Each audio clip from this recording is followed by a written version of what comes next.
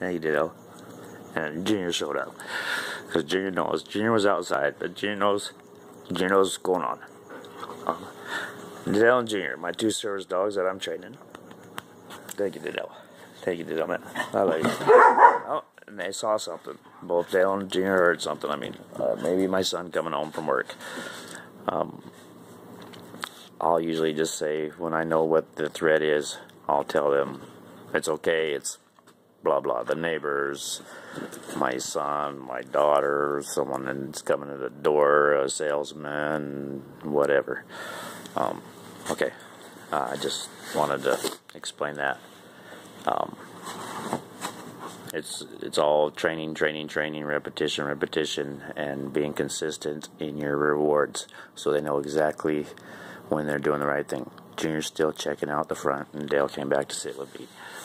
Thank you Dale. And then, of course, Olive with the ball.